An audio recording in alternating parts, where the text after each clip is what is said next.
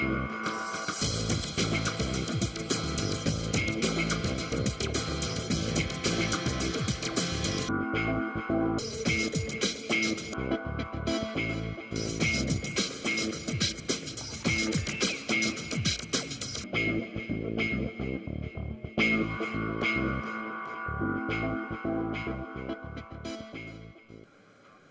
Κυρίες και κύριοι, καλησπέρα σας. Εδώ και σήμερα από τις 5 έως τις 6, γιατί λύση υπάρχει, αρκεί να είσαστε σωστά συντονισμένοι μόνο στο SBC, στο μοναδικό οικονομικό κανάλι της χώρας. Μαζί με τη Σοφία Μίτιλη. Καλησπέρα, κυρίες και κύριοι. Αλλά και με τους εκλεκτούς καλεσμένους, όπως κάνουμε κάθε απόγευμα, βρίσκουμε λύσεις σε όλες τις δικές σας ερωτήσεις και απορίες που έχετε.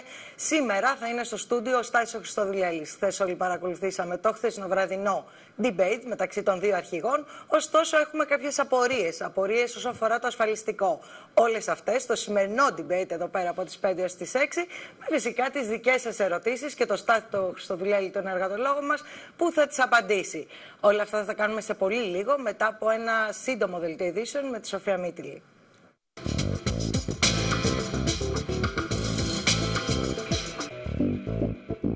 Στην τελική ευθεία για τις εκλογές, μετά το debate, η μάχη μεταφέρεται στις προεκλογικές συγκεντρώσεις των κομμάτων.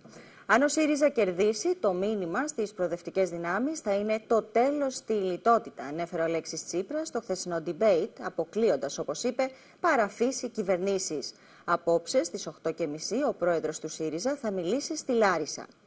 Μπορεί να υπάρξει συνεργασία πάνω σε ένα σταθερό πρόγραμμα, δήλωσε ο Βαγγέλης Μημαράκης. Ο πρόεδρος της Νέας Δημοκρατίας θα παραχωρήσει απόψε συνέντευξη στο κεντρικό δελτίο ειδήσεων του ΜΕΓΑ. Περαιτέρω μείωσε η εμφάνισε η εξάρτηση των ελληνικών τραπεζών από το μηχανισμό έκτακτης ρευστότητας, τον ELA, τον Αύγουστο. Σύμφωνα με τα στοιχεία της Τράπεζας της Ελλάδος, ο δανεισμός των ελληνικών τραπεζών από το ELA υποχώρησε τον Αύγουστο στα 84 δις ευρώ από 85,3 δις ευρώ που ήταν στο τέλος Ιουλίου. Αντιθέτως, η χρηματοδότησή τους απευθείας από την Ευρωπαϊκή Κεντρική Τράπεζα διατηρήθηκε αμετάβλητη στα 40 δις ευρώ. Τέλος, το ειδικό καθεστώς ΦΠΑ που ισχύει σήμερα σε νησιά του Αιγαίου φέρνει το νέο μνημόνιο από την 1η Οκτωβρίου. Το μνημόνιο προβλέπει πως τα υπαγόμενα στις ομάδες νησιά θα καθοριστούν με υπουργική απόφαση. Ο υπηρεσιακός αναπληρωτής Υπουργός Οικονομικών, Τρίφωνας Αλεξιάδης, έχει ήδη καταρτήσει τη σχετική απόφαση, την οποία ωστόσο θα υπογράψει η νέα κυβέρνηση. Ελαφρύνσεις για τους οικονομικά ασθενέστερους και μετακύληση βαρών προς τα υψηλότερα εισοδήματα θα επιφέρει το νέο φορολογικό νομοσχέδιο, το οποίο εκ του μνημονίου είναι υποχρεωμένη ή να φέρει στη Βουλή η κυβέρνηση που θα προκύψει από τις εκλογές της 20 Σεπτεμβρίου. Οι βασικές κατευθύνσεις του έχουν ήδη καθοριστεί σε συνάρτηση με το επιδιωκόμενο δημοσιονομικό αποτέλεσμα. Μεταξύ άλλων θα προβλέπονται αφορολόγητο όριο 12.000 ευρώ και ενιαία φορολογική κλίμακα για μισθωτούς, συνταξιούχους και εισοδήματα από ενίκεια.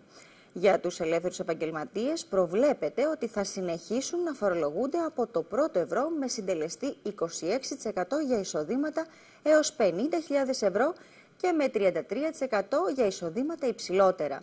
Η εισφορά αλληλεγγύης ενδεχομένως να ενσωματωθεί στην κλίμακα.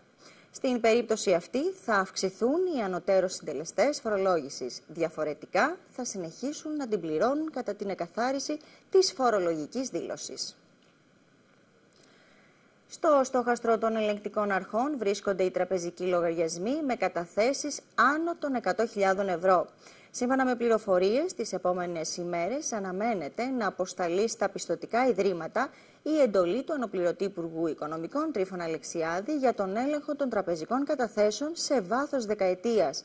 Το Υπουργείο Οικονομικών θα ζητήσει τα δεδομένα των τραπεζικών καταθέσεων με ποσά άνω των 100.000 ευρώ, με τον κύριο Αλεξιάδη να δηλώνει ότι θα ξεκινήσουν άμεσα οι έλεγχοι από τις αρμόδιες ελεγκτικές αρχές σε σύνολο των στοιχείων της δεκαετίας. Οι ελεγκτικές υπηρεσίες του Υπουργείου Οικονομικών θα έχουν πλήρη και άμεση πρόσβαση στις αναλυτικές κινήσεις των τραπεζικών λογαριασμών κάθε φυσικού και νομικού προσώπου, καθώς και στο σύνολο των συναλλαγών που επηρεάζουν το λογιστικό υπόλοιπο των λογαριασμών αυτών. Ακόμα και τις περικοπές που προβλέπει η εφαρμογή του μνημονίου ξεπερνάνε εκείνες που θα υποστούν οι συντάξεις σε περίπτωση που εφαρμοστεί στην Ελλάδα το αυστραλιανό μοντέλο.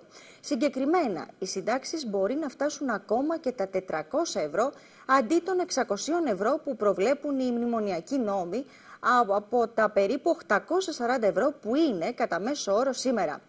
Έτσι, οι περικοπές που θα έφερνε μια αυστραλιανού τύπου μεταρρύθμιση στο ασφαλιστικό της Ελλάδας θα έφταναν το 40% αντί του 30% που προβλέπουν οι έως τώρα μνημονιακοί νόμοι. Και στο σημείο αυτό το δελτίο μας ολοκληρώθηκε, ακολουθούν τα Info News.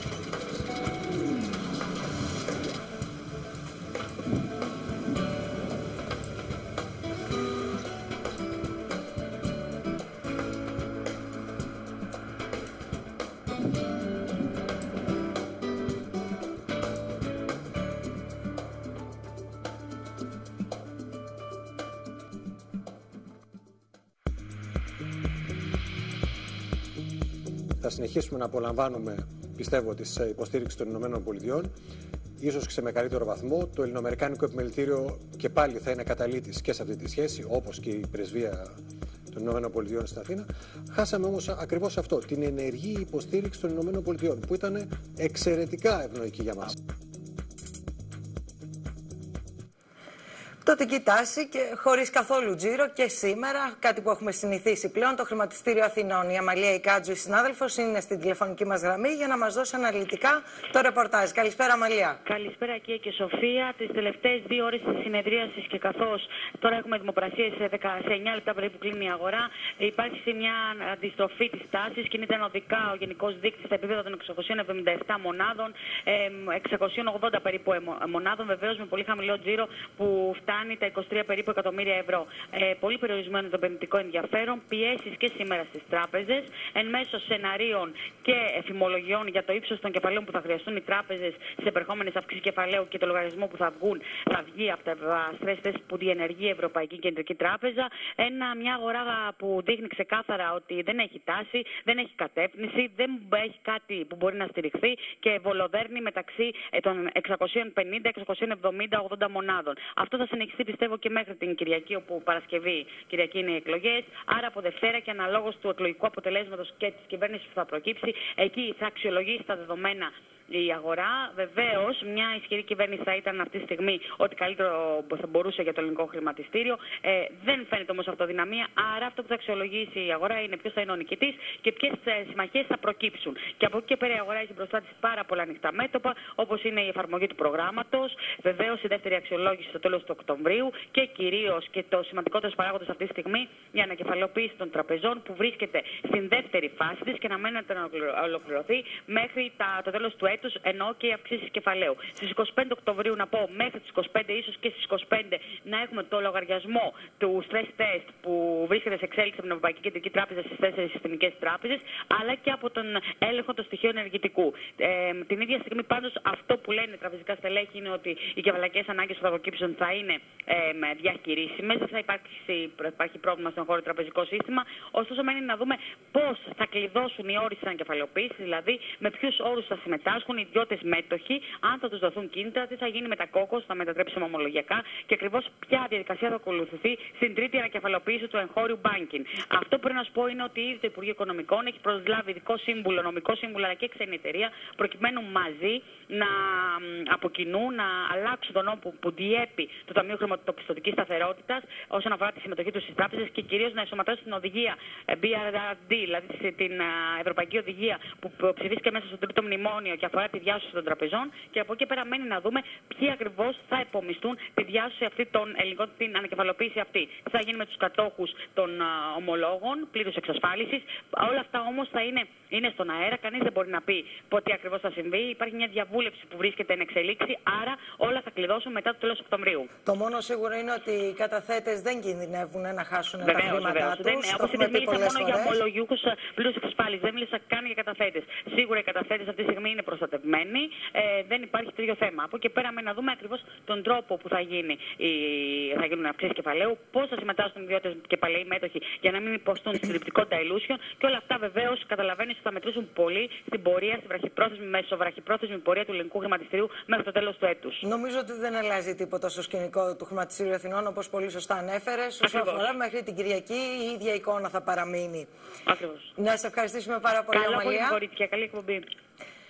Στο σημείο αυτό, κυρίες και κύριοι, θα πάμε σε ένα πολύ σύντομο διαφημιστικό διάλειμμα. Μείνετε συντονισμένοι. Σε λίγα λεπτά το debate μεταξύ όλων εσάς και του Στάθου Χριστοδουλέλη του Εργατολόγου μας θα ξεκινήσει.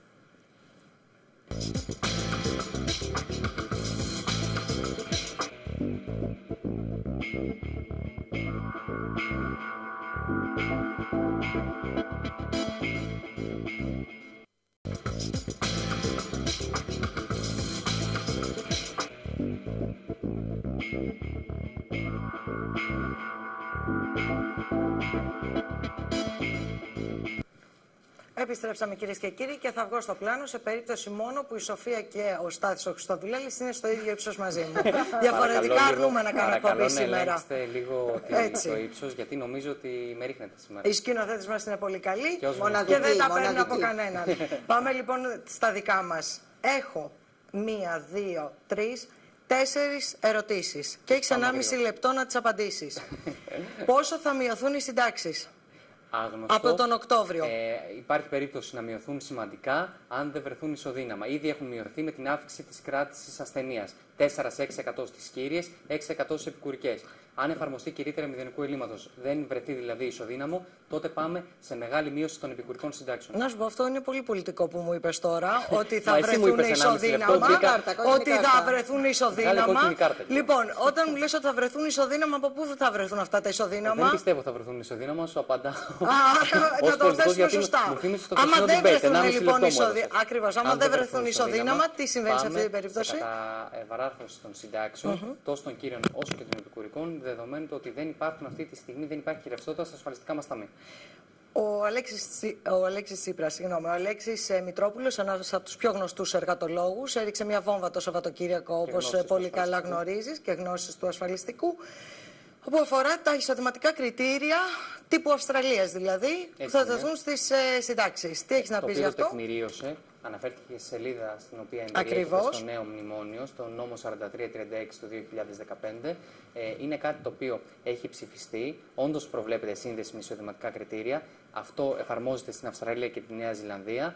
Ε, σε κάθε περίπτωση, επειδή πολλοί θα επιχειρηματολογήσουν περί του αντιθέτου, να πούμε όπως και το Υπουργείο όπως... Εργασίας που το έτσι, διέψευσε το οποίο μέσα από το Γενικό Γραμματέα Από όσο ξέρω, επανήλθε σε πρωινή εκπομπή ε, δηλώνοντας ότι ε, δεν ε, το απορρίπτει, απλά θα βρεθεί ισοδύναμο. Ξέρεις, είναι διαφορετικό το απορρίπτω, mm γιατί λέω ότι δεν είναι αλήθεια, ότι είναι ψεύδος. Και άλλο το ότι αν βρεθεί ισοδύναμο δεν θα εφαρμοστεί. Είναι δύο διαφορετικά Ακριβώς. πράγματα. Ακριβώς. Αλλά επειδή δεν βλέπουμε επειδή, να λοιπόν, βρίσκεται ισοδύναμο. ισοδύναμο. είναι κάτι το οποίο ε, κατά καιρούς το ακούμε και είναι δύσκολο και αν μη τι άλλο ε, βρίσκεται στη σφαίρα του ιδεατού. Εδώ μιλάμε πραγματικά δεδομένα. Πρέπει σε κάθε περίπτωση να γίνει μια σοβαρή κουβέντα. Υπάρχει Επιτροπή των Σοφών αυτή τη στιγμή. Ελπίζω οι προτάσεις ε, που κάνουν και κάποιες είναι σε σωστή κατεύθυνση από όσο μαθαίνουμε, ε, να βρούνε και πρόσφορο έδαφος στην πράξη για να μπορέσει το ασφαλιστικό μας να γίνει βιώσιμο. Αυτό πάντως μπορεί πρακτικά να σημαίνει ότι οι συντάξεις από 600 ευρώ δηλαδή μπορεί να φτάσουν και 400 ευρώ. Να έχουμε δηλαδή και μειώσεις του 40%. Το κράτος εγγυάται 460 ευρώ. Ναι. Από εκεί και πέρα τα υπόλοιπα είναι τα αποδοτικά με βάση τις εισφορές. Αν δεν βρεθεί τρόπος χρηματοδότησης του ασφαλιστικού μας ε, συστήματος, Σοφία, ε, ξεκάθαρα θα έχουμε πρόβλημα δεδομένης της ανεργίας που δεν ε, δίνει εισφορές στα ταμεία ασφαλιστικά μας. Μάλιστα. Ο πρώτος τηλεθεατής για σήμερα είναι ο κύριος Σπύρος. Καλησπέρα σας. Γεια σας, καλό απόγευμα. Καλησπέρα, σας ε, ακούμε. Ε, απλώς ήθελα να ρωτήσω, η σύζυγός μου βγήκε με σύνταξη κάνοντας χρήση το, το νόμο Κουτρουμάνη που λέγανε ας πούμε όταν θα έχεις ανήλικο παιδί και θα έχεις 5.500 ένσημα θα μπορείς να βγεις σε σύνταξη. Έκανε αυτή τη χρήση εδώ και 5 χρόνια, 6. Ε, βγήκε με μειωμένη ε, ενώ μπορούσε να βγει στα 55 με, με πλήρη. Αλλά βγήκε στα 52,5. Μάλιστα, με ποσοστό Τώρα μείωσης. είναι 57. Μπορεί, μπο- μπορεί να διεκδικήσει κάτι από αυτό επειδή έβγαινε στα 55 με πλήρη, ας πούμε. Όχι, όχι, όχι, όχι. Καταρχήν, να το πούμε γιατί αφορά πολλούς τηλεθεατές.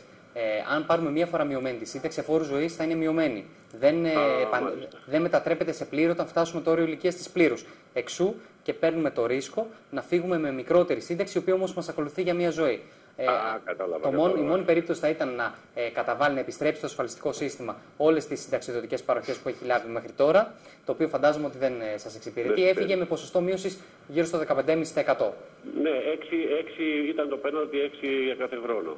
Μάλιστα. Σε κάθε περίπτωση δεν μπορεί να κάνει κάτι. Ε, ίσως και να ήταν όμως η σωστή επιλογή. Μην ε, κάνετε δεύτερη σκέψη.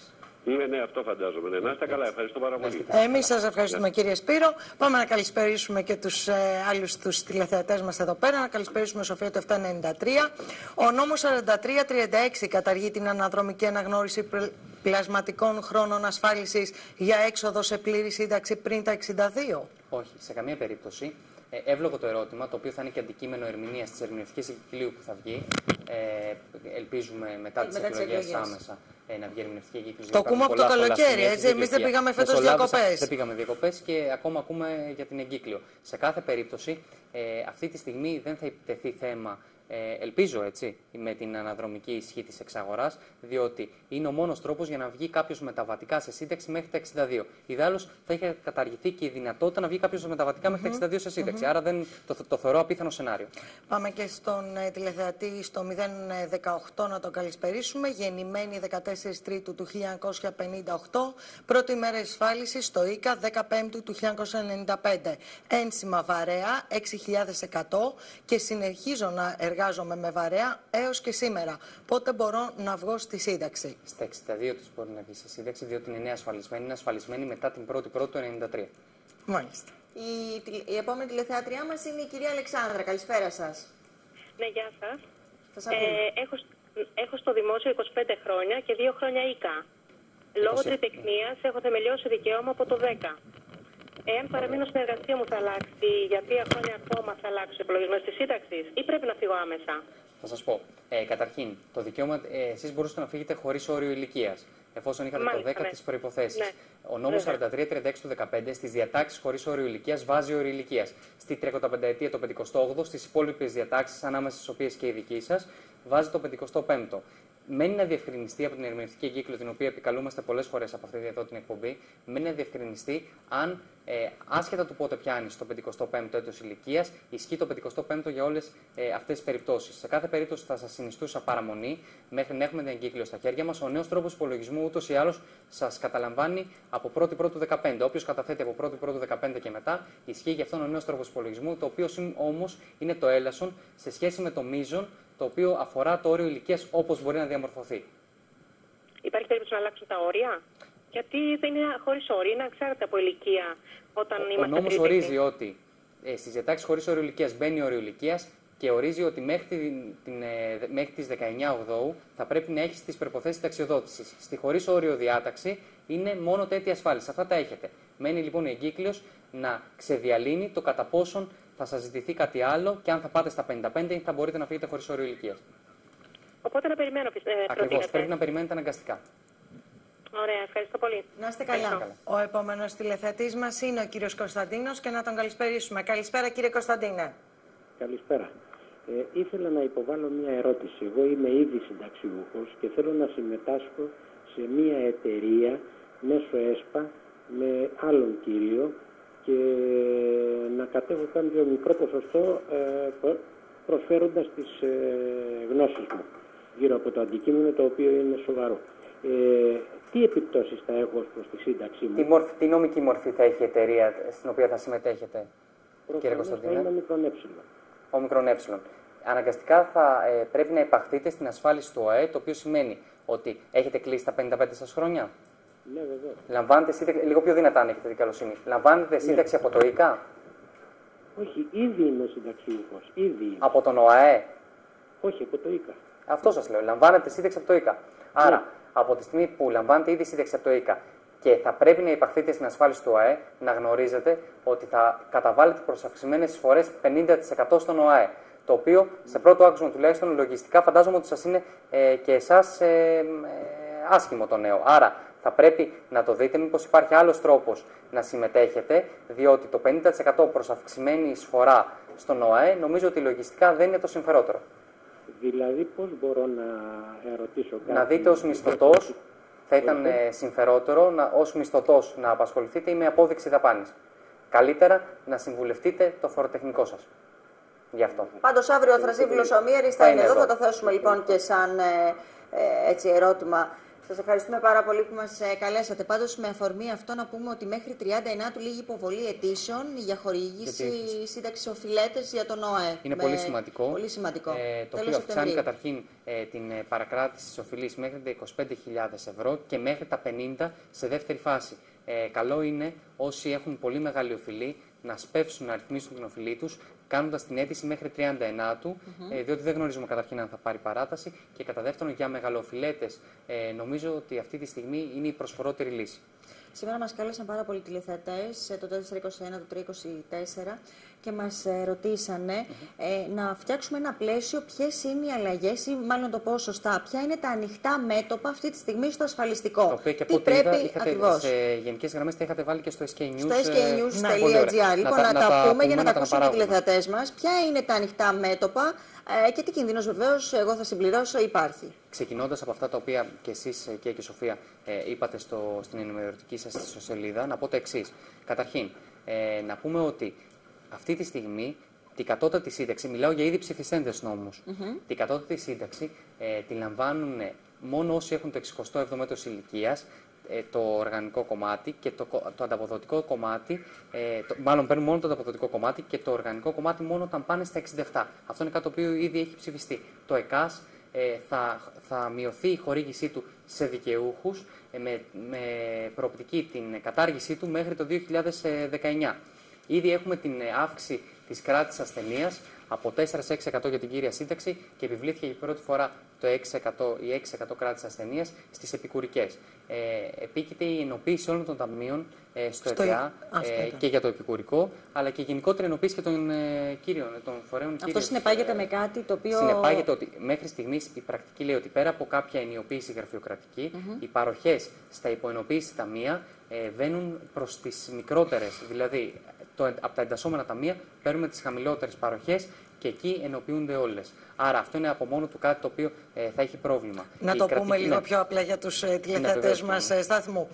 Αυτό τι σημαίνει ουσιαστικά, ότι όσοι άνθρωποι με την ενοποίηση των ταμείων, όσοι άνθρωποι είναι, παίρνουν, λαμβάνουν υψηλές συντάξεις, αυτές δυστυχώς θα μειωθούν. Έτσι είναι ακριβώς. Μπαίνουν όλα σε ένα καζάνι Ακριβώς. και ε, ανακατεύονται και βγαίνει στο τέλος η Και θα μου χαμηλότερη πει μετά δυνατή παροχή. πόσο συνταγματικό είναι αυτό. Και έχουμε γιατί και πολλά ένας άλλα. άνθρωπος, Έχεις είμαι εγώ απόλυτο και δίκιο. εσύ. Εσύ μπορεί να είχες 10.000 ευρώ μισθό και εγώ να είχα 500 ευρώ. Έτσι. Δεν δικαιούται κανένας.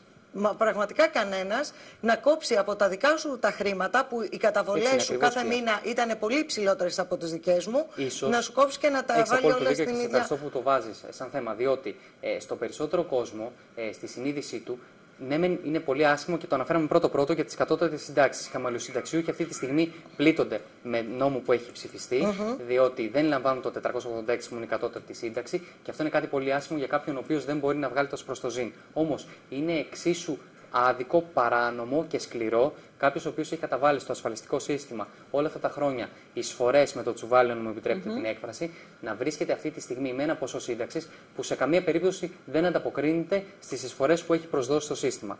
Είναι η αρχή της ανταποδοτικότητας των εισφορών, ε, συνταγματικά κατοχυρωμένη αρχή και πρέπει να γίνεται σεβαστή. Έχουμε και άλλα να πούμε. δεν βεβαίως. έχουμε τελειώσει, αλλά θα καλησπερίσουμε τον κύριο Νίκο. Μας ακούτε; Ναι, ναι, σε ακούω. Ε, και εμείς ακούμε την ερώτησή σας. Λοιπόν, ε, για τον κύριο Εργατολόγο. Ερώτημα. Ε, η σύζυγος έχει καταθέσει αίτηση ταξιδότησης στα 63 της και μισό στις 29 Ιουνίου του 2015. Με, ε, είχε θεμελιώσει το 10 με ανήλικο ή και με 10.000 και 57 με εγγλέζικα χρόνια. Και, Μάλιστα. δηλαδή 9.500 ελληνικά τότε και 1.500 και 5 χρόνια εγγλέζικα.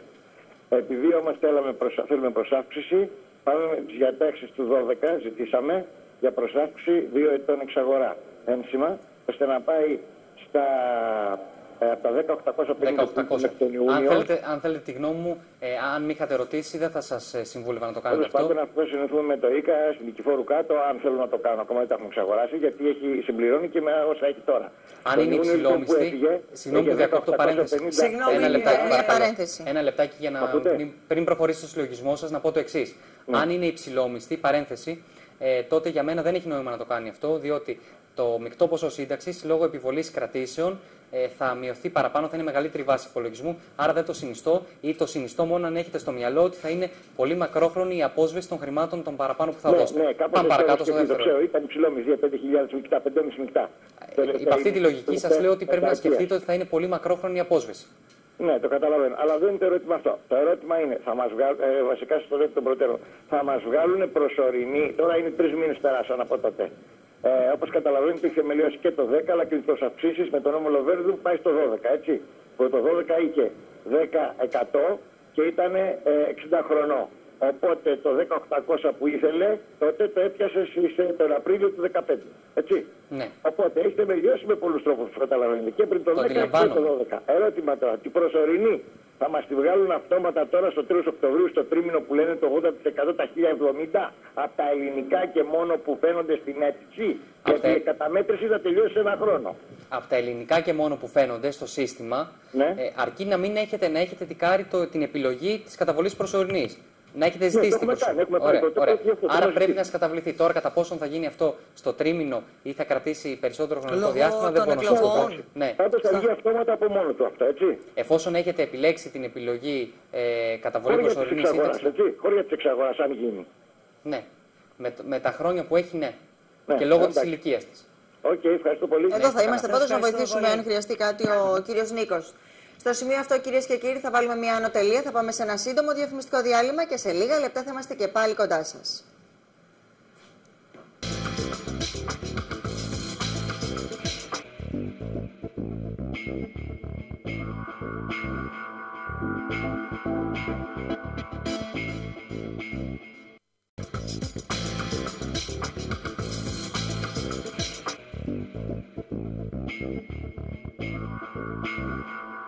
えっ? Κυρίες και κύριοι, δεν μας κάλυψαν πολλοί οι απαντήσεις χθες των ε, πολιτικών αρχηγών των δύο μεγαλύτερων κομμάτων της χώρας. Γι' αυτό και όλες σήμερα έχουμε καλέσει στο στούντιο μαζί μας και είναι ο Στάθης ο Χριστοδουλέλης για να μας πει κάποιες Για να τα περαιτέρω πεις όλα. πληροφορίες ακριβώς Διατυπώθηκαν για το ερωτήσεις για το ασφαλιστικό. ασφαλιστικό. Για το ασφαλιστικό. Μόνο οι οποίες μία, όμως νομίζω μόνο ότι μία, μόνο μία από τη Μάρο της Μα, Ζαχαρέα. αν τη- δεν κάνω, από ε. τη Μάρο της Ζαχαρέα από το ΣΤΑΡ, Μάρα η Ζαχαρέα, οποία ναι, η και- απάντηση ήταν Γενικόλογες ότι αν δεν απαντήσεις. βρεθούν τα ισοδύναμα ισοδύναμα. αυτά που μου είπες εσύ, αυτό Έτσι, και έτσι, έτσι. δεν Ναι, μπορώ, ναι. δεν τη δέχομαι αυτή σαν Έτσι, απάντηση. έτσι, ναι, Σε ναι. περίπτωση λοιπόν να πούμε που δεν βρεθούν τα ισοδύναμα, γιατί είναι πολύ δύσκολο να βρεθούν τα ισοδύναμα, γιατί ό,τι είπε ο Αλέξο Μητρόπουλο, ένας έμπειρος εργατολόγος από τους κάθε πιο περίπτωση. μεγάλους εργατολόγους στην γνώστης του Ελλάδα. ασφαλιστικού της χώρας, ναι. Ακριβώς. Λοιπόν, όταν λοιπόν το λέει αυτό, κάτι έχει στο μυαλό του. Το διαψεύσανε Έχει στο στο μυαλό του, Υπουργείο. Κιλιά, αυτό το οποίο ακριβώς. έχει ψηφιστεί. Αυτό που έχει ψηφιστεί. Κάτι έχει δει. Δεν μπορεί να τα βγάζει από το μυαλό Από του. εκεί και πέρα, ούτε μπορούμε να τον μακάρι, διαψεύσουμε. ε, προφανώς, Να είναι βρεθεί κοινή για συλλογική όλους, προσπάθεια να έτσι. βρεθούν τα ισοδύναμα και να μπορέσει λίγο το ασφαλιστικό της χώρας μας να σταθεί στο ύψος του. Είμαστε σε αυτή την εκπομπή Εμείς τα 7 λέμε και τα μήνες, κακό Στάθη κείμενα. μου. Είμαστε εδώ 7 μήνες. Πόσα έχουν αλλάξει μέσα σε αυτά 7 μήνες που έχεις πει ότι είναι κόκκινες γραμμές της Και προηγούμενη νομίζω κυβέρνησης. ότι σε, σε αυτή την εκπομπή, χωρίς να λέμε ποτέ ε, τίποτα πέρα από αυτό το οποίο έχει ψηφιστεί, νομίζω ότι πάντα δίναμε ε, χρόνο Ακριβώς. για να μπορέσουν λίγο κάποια πράγματα να έρθουν. Και αυτό θα κάνουμε, αρκεί να μην ε, θίγονται τα δικαιώματα των ασφαλισμένων και των εργαζομένων. Ο κύριος Νίκος είναι στη τηλεφωνική μας γραμμή. Καλησπέρα σας. Καλησπέρα σας. Σας ακούμε, κύριε Νίκο. Κατέθεσα 31 12 του 14, 23 δηλαδή, ε, με 11.410 σύνολο, με τα βαρέα 9.195. Ωραία. Τα σύνολό τους στις 30 Τετάρτου ήταν 11.510 και 9.295. Πώς γίνεται η πρημοδότηση των βαρέων, Το Καταρχήν. ένα είναι αυτό. Ναι.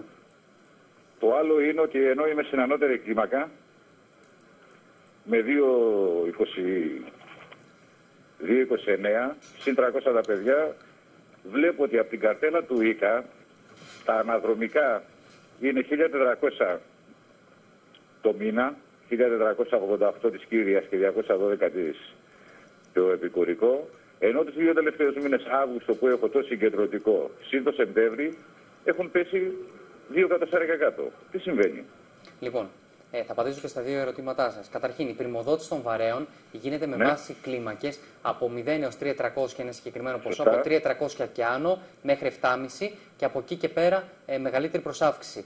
Αν βγεις με, μη- με διάταξη μη βαρέων, με, απλή, με άλλη διάταξη, κοινή διάταξη, τότε είναι μεγαλύτερη η προσάυξη. Δηλαδή, αν είχατε τη δυνατότητα να βγείτε με την διάταξη της 35 ετία, όχι με τα βαρέα, τι ηλικία έχετε; Ε, 57 το Δεκέμβρη.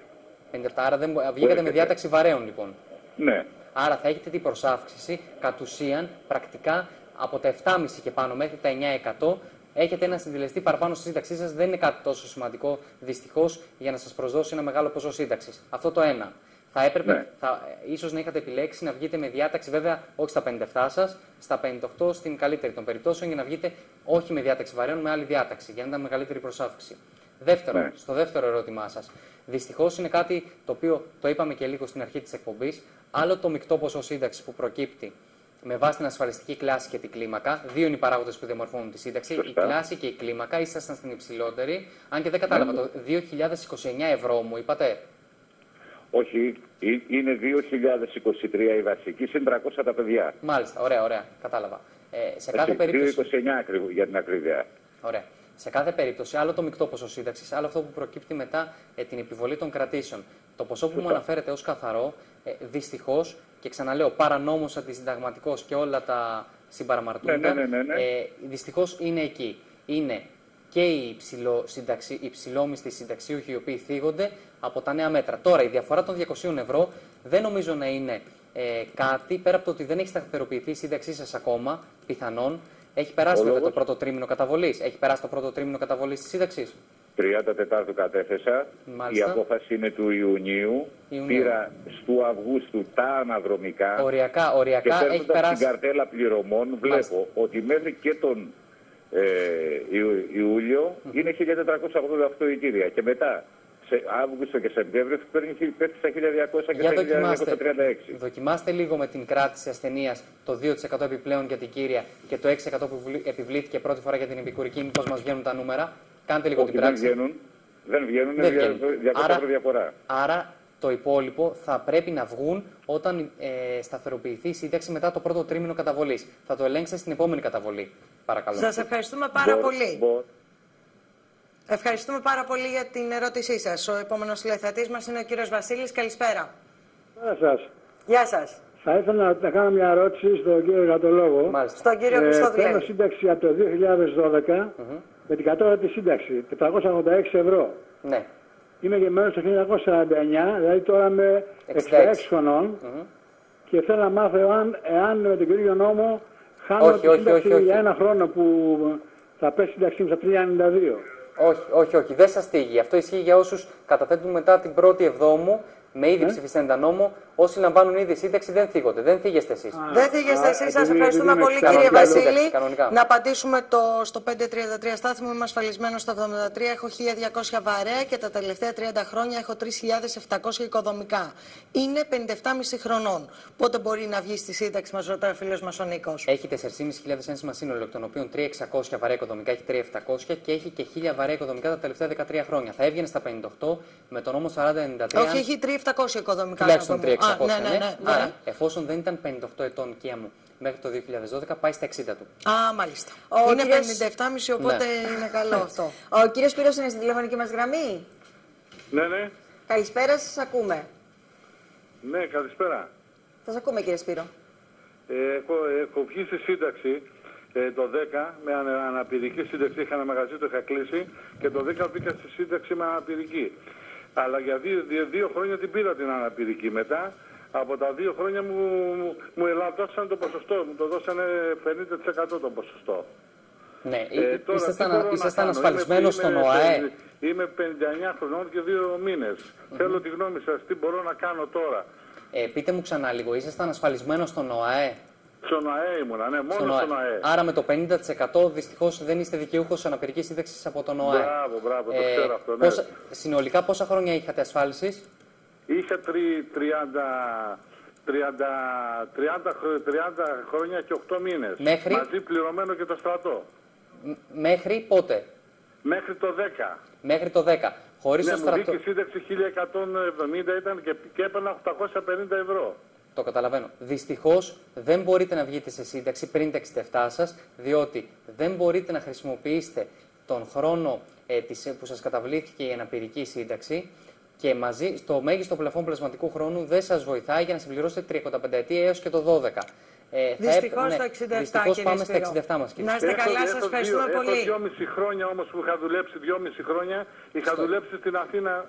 Ναι. Αν Μπορώ να 35 αναγνωρίσω χρόνια, αυτά. 35 χρόνια μαζί με 5 κατανότατο πλασματικά συμπληρώνεται το 2012 με 5 κατανότατο και ο στρατός συμπεριλαμβανομένου με- Α, και και το ο στρατό στρατός συμπεριλαμβανομένου. Αυτό είναι το πρόβλημά σας. Ο στρατός το τον έχετε συμπεριλάβει ήδη στα 30 και 8. Μπράβο, ναι. Σας Α, ευχαριστούμε πάτε 67. πάρα πολύ. Δυστυχώς το 67 ο επόμενος τηλεθεατής μας είναι ο κύριος Βασίλης. Καλησπέρα κύριε Βασίλη, σας ακούμε. Ναι, καλησπέρα σας. Καλησπέρα. είμαι γεννηθής το 57, 16 έκτου. Είμαι ασφαλισμένος στο ΙΚΑ από το Νοέμβριο του 2015 έως το Μάρτιο του 83. Από τον Νοέμβριο Ε, του 15 στο Μάρτιο, ανάποδα μου τα είπατε, ναι. Ωραία. Ναι. Ωραία. Ε, και έχω και 13, μη- 13 μήνες στρατό. Ε, και από Άρα. το 83 μέχρι σήμερα είμαι ασφαλισμένος στο ΤΕΒΕ. Από, Πότε το, παίρνω σύνταξη; από πότε, συγγνώμη, είστε στο ΤΕΒΕ. Από το Μάρτιο του 83 έως σήμερα. Ξανά λίγο γιατί το μπέρδεψα. Από το 83 το Μάρτιο μέχρι σήμερα ΤΕΒΕ. 32 χρόνια ΤΕΒΕ. Προηγουμένως ΙΚΑ; Ίκα είμαι από το, 80, από το 75 75, Α, 75, γιατί μας 75 μπερδέψατε. μέχρι; μέχρι το 83 με ένα διάλειμμα 13 μηνών ο στρατός. Άρα, ε, 75-83, 8 χρόνια, βγάλε ένα χρόνο, 7 χρόνια, 7 χρόνια και 32-39. Άρα έχετε τα έτη ασφάλισης χωρίς εξαγορά πλασματικού χρόνου. Έχετε και το όριο ηλικίας, έχετε 16 έκτου, μου είπατε, του Του 57. 58. Απέχετε 2 χρόνια λοιπόν από το όριο ηλικίας των 60 που ίσχυε με το προηγούμενο νόμο. Άρα πάμε το 17, πα- 60,8. 60 έτη και 8 μήνες. Μ, ευχαριστώ. Αντί για Ευχαριστούμε 60. πάρα πολύ. ευχαριστούμε. Άντε τώρα να πιστέψει κάποιος ότι δεν ήσουν καλό στα μαθηματικά. Κάνουμε λίγο χιούμορ. Η κυρία Ελένη είναι η επόμενη τηλεθεάτριά μας. Καλησπέρα σας. Έπεσε η κυρία Ναι, Ελένη, καλησπέρα. πάμε να καλησπερίσουμε. Όχι, του- όχι, είναι η κυρία δεν Ελένη. έπεσε. Δεν έπεσε. Κυρία Ελένη, Μ' ακούτε; βεβαίως, Ναι, ναι. σα Ε, γεια ακούμε. σας. Για το... Καλησπέρα σας. Ακούτε; Ακούμε, ακούμε. Είναι το 57 γεννηθής Ναι. και ε, έχει το 13 έχει τα 10-500 μαζί με τα πλασματικά. Το έτος 13. Βαρέα. Βαρέα είναι τα 8,5. Βαρέα είναι το Σύνολο 8,5. έχει ναι, 10-500 μαζί με τα πλασματικά που θα Τα, αγοράσει. ε, νωρίτερα δεν πιάνει τα 1500 ε, το 12, τα πιάνει το 13, Όχι. έτσι; Ναι. Πότε Ναι. θα βγει στη σύνταξη; Με το νέο νόμο το 4336 του 15 δεν θίγονται ε, όσοι βγαίνουν με διάταξη βαρέων. Ε, άρα εκεί βγαίνει 58 έτη και 9 μήνες σε μειωμένη, 60 έτη και 9 μήνες σε πλήρη. Στα 58 έτη και 9 μήνες με ποσοστό μείωσης 12%. Δεν αλλάζει κάτι γι' αυτό με τον καινούριο νόμο. Είχε πέσει η γραμμή νομίζω. Α, Ευχαριστώ Αλλά δεν πολύ ελπίζω την να το ε, άκουσε. κυρία Ελένη Ευχαριστούμε. που πήρε άκουσε την Έχω απάντηση. γεννηθεί το 1963 και έχω 30 έτη εργασίας με φορέα το ΙΚΑ. Μπορώ να εξαγοράσω τα 5 έτη στρατού και σπουδές και πότε μπορώ να βγω στην σύνταξη, μας ρωτάει το 149. 52, ε, είναι μικρός, μπορεί να εξαγοράσει μέχρι 5 χρόνια για να θεμελιώσει ε, το 2012 να έβ- και να έβγαινε με ΙΚΑ, από νέο φορέα το ΙΚΑ 59 και 11%. Όμως, λόγω της, ε, του νέου νόμου, επειδή απέχει από τα 59, πηγαίνει στα 62 του με 40 χρόνια ασφάλισης. Μάλιστα. Ο κύριος Δημήτρης είναι ο επόμενος τηλεθεατής. Καλησπέρα σας. Κύριε Δημήτρη. Θα Με μας ακούτε; μιλήσετε, κύριε Δημήτρη; Ναι, με ακούτε; Ακούμε, Βεβαίως. ακούμε. Ναι, ήθελα να ρωτήσω για τη γυναίκα μου. Ναι. Είναι γεννημένη το 1967. Εργάστηκε το 1991 πρώτη φορά, το 2010 είχε 5.500 έσπα και ανήλικο παιδί. Μάλιστα. Πότε βγαίνει σε Ενώ σύνταξη. είχε κλειδώσει δικαίωμα με δεδομένα 10 και όντας παλιά ασφαλισμένη, γιατί είναι πριν το 93, θα έβγαινε 50 μειωμένη 55 πλήρη, επειδή είναι 48, ε, έτσι δεν είναι, 48 ετών τώρα. Άρα Ναι, ναι. κλείνει τα 50 σε 2 χρόνια. Δυστυχώς ε, και αναμένουμε την εγκύκλιο 58,4 και τη μειωμένη. 8 χρόνια αύξηση μόνο για τη μειωμένη ηλικία. Είναι αυτό που λέγαμε. Δεν θέλω να ρωτήσω για την πλήρη πόσο θα πάει μακριά. Δεν το ρωτήσεις, ας το καλύτερο. Δεν το ρωτάμε. Σε κάθε περίπτωση είναι από τους ε, φυγμένους του νέου ασφαλιστικού νόμου, κυρία μου. Μάλιστα. Μάλιστα. Ε, και άλλη μια ερώτηση για τους οικοδόμους. Για Είμαι τους- οικοδόμος. Πο- ε, Πότε βγαίνω εγώ σε σύνταξη, έχει αλλάξει κάτι; 4.500 ένσημα. Δεν έχει αλλάξει κάτι με τον καινούριο νόμο. Να πω το παλιό πλαίσιο: 4.500 ένσημα, εκ των οποίων 3.600 βαρέα οικοδομικά και 1.000 βαρέα οικοδομικά τα τελευταία 13 χρόνια. Αν είστε και ε, 58 ετών μέχρι το 2012, βγαίνετε στα 58. Αν 58 κλείνουμε από 1η Πρώτου 13 και εφ' εξής, τότε πάμε στο 60ο έτος ηλικίας για πλήρη σύνταξη με τα οικοδομικά. Ευχαριστώ πάρα πολύ. Να είστε Εμείς καλά, σας σα ευχαριστούμε ευχαριστούμε. πολύ. Ο- Ο, ο Κωνσταντίνος. Ο ε, Κωνσταντίνος, βέβαια. Καλησπέρα σας, κύριε Κωνσταντίνε. Καλησπέρα σας. Σας ακούμε. Ε, είναι για τη σύζυγό μου. Ε, έκλεισε τα 54 και δύο μήνες ε, στην εργασία της. Ε, ε, ε, στα χρόνια της. Και Ορίστε. έχει 34 χρόνια και δύο μήνες ε, εργάσιμα στον ίδιο εργοδότη. Πότε βγαίνει στη σύνταξη. Έχετε παιδιά; Όχι. Όχι. Ε, 34 χρόνια μέχρι και τώρα; Έχει 34 και δύο μήνες, ναι. Πολύ ωραία. Άρα, με εξαγορά πλασματικού χρόνου θα μπορούσε να θεμελιώσει, συντα- να ε, ε, κατοχυρώσει μάλλον, συγγνώμη, συνταξιδοτικό δικαίωμα μέχρι και το 2012 με τη διάταξη των 10.000 ενσύμων, στη χειρότερη των περιπτώσεων. Αν πλασματικό βέβαια θα πρέπει να έχει σπουδές ή και ένα ασφάλισης, ε, γιατί από τη στιγμή που δεν υπάρχει πλασματικός χρόνος παιδιών ή στρατός, Όχι, δεν επειδή είναι έχει γυναίκα, τίποτα. πρέπει και να να έχει. Έχει και ένα ασφάλισης. Όχι, όχι, δεν έχει. Πω. Είναι συνέχεια στον ίδιο εργοδότη, είναι βοηθός συμβολιογράφο. Καταλαβαίνω. Δυστυχώς δεν έχει δεξαμενές πλασματικού χρόνου, οπότε από τα λεγόμενά σας πηγαίνουμε στα 62 μας με 40 χρόνια ασφάλισης. Ενώ με τη διάταξη των 10.000 ενσύμων θα μπορούσε, δεν έχει πλασματικό χρόνο. Δυστυχώς. Ναι, ναι. Από τις Σας μεγάλες ευχαριστούμε αδικημένες. πάρα πολύ. Ε, Από πάρα τους πολλά μεγάλους χρόνια αδικημένους. ασφάλισης Ακριβώς. οικία. Αλλά χωρίς να έχεις, σας ευχαριστούμε πάρα πολύ. Ε, α, με πάρα πολλά χρόνια Έτσι, ασφάλισης, αυτό που λέμε πολλές φορές πόσο άδικο είναι. Τιμωρούνται όσες γυναίκες μη έχοντας ε, παιδιά, ε, αφιερώνονται στην επαγγελματική τους ζωή ε, για πάρα πολλά χρόνια και φτάνουν στο σημείο μετά να πηγαίνουν ε, σε πολύ μεγάλη ηλικία για να πάρουν τη σύνταξή τους. Ε, είναι κάτι το οποίο είναι στρεβλό και πρέπει να διορθωθεί. Το debate πολύ καλά ξεκίνησε και συνεχίζει πάρα πολύ καλά. Ο επόμενος τηλεθεατής μας είναι ο κύριος Κωστάς. Καλησπέρα, κύριε Κωστά. Καλησπέρα. Καλησπέρα σας. Μ' ακούτε; Ναι, ναι, πολύ καλά. Ναι, έχω γεννηθεί 16 Εβδόμου του 1957. Ωραία. Ε, και θεμελίωσα το 12 με πλασματικά χρόνια συμπληρώνοντας τα 1500. Μμ. Άρα βγαίνατε. Στα... Ικα Στο έχετε. 51ο ηλικίας με σύνολο 11%. Μπράβο, πολύ ωραία. Βλέπετε που τα ξέρετε. Λοιπόν, όμω. Στο τέλος του 14 θα συμπλήρωνα, ναι. Όμως δεν έχετε συμπληρώσει το 51ο έτος ηλικίας. Είστε 58, έχετε κλείσει τα 58. Σας λείπει ένας χρόνος. Άρα πάμε στα 59,8. Το 16. Δεν αλλάζει τίποτα, δηλαδή φεύγω 59, ε. 59,8. Δεν είπα 59. Τους 8 μήνες μας Οκτώ του μήνες. βγάλατε. Δηλαδή 16 Ιουλίου και 8 μήνες. Μπράβο. 16 Δηλαδή πάω Ιουλίου, επιπλέον 8 μήνες.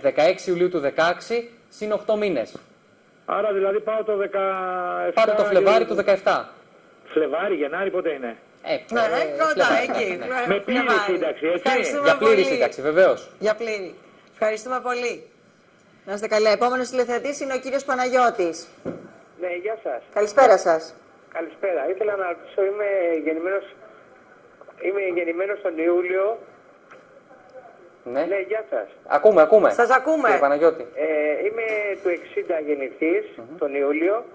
Ε, είμαι τώρα 55 και 2 μήνες. Έχω 36 χρόνια όλα βαρέα για Ανθιγυνά. Ναι.